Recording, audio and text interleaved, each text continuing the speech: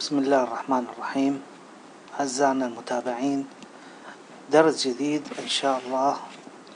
مجموعة دروسنا بالفيجوال بيزك وقواعد البيانات. إن شاء الله الدرس راح يكون عن كيفية البحث داخل قاعدة البيانات. أني صممت هذه الواجهة وربطتها بقاعدة بيانات. كنت مصممها مسبقا يعني بتجربة معينة. وصممت وكتبت كود إنه يملي الحقول عندما أضغط على شخص معين. ف ضفنا مربع النص هذا اللي اسمه text واحد dot text وهسه راح نجي نشوف شلون نكتب كود البحث. طبعا أول شي لازم نخلي له event هو text change جيد. هنا نقول له data table dot clear. نفرغها من المعلومات اللي بداخلها. طيب.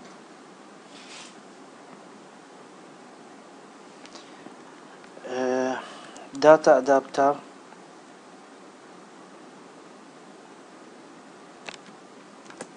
تساوي new OLEDB data adapter هنا connection نكتب داخل الداتا ادابتر select all from main اللي هو اسم الجدول داخل قاعدة البيانات اللي حاليا نتعامل وياه. Where emp name like نخلي علامة بالمية. هنا. نكتب text واحد box واحد dot text طيب.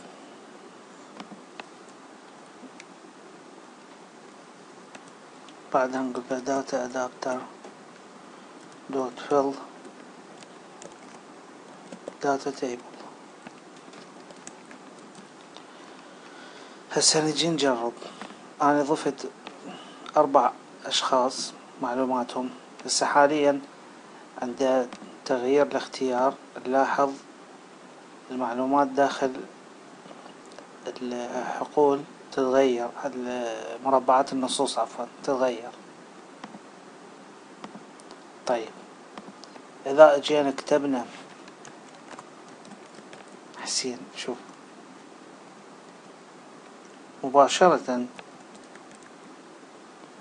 من نكتب الاسم تظهر أن النتيجة وتتغير المربعات نجدد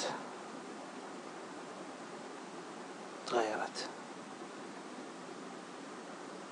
أنا قلت له ابحث داخل المين حيث أن الاسم يساوي ما يكتب هنا في هذا ال text box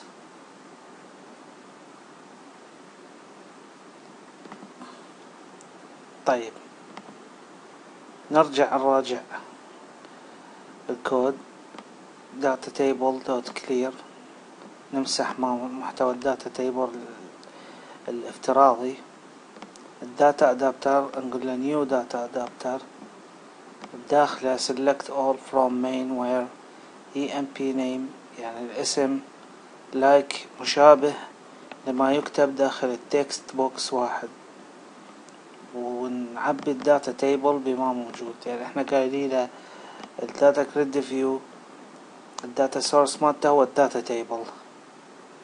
فيتم يعرض النتائج عند تغيير أو ما يكتب داخل هذه هذا مربع النص. أي سؤال يمكنك أن تتركه داخل التعليق بالفيديو. أو يمكن مراسلتي على البريد الإلكتروني. إذا أعجبك الفيديو أضغط like وتقدر تسوي subscribe أو اشتراك في القناة وشكرا لكم.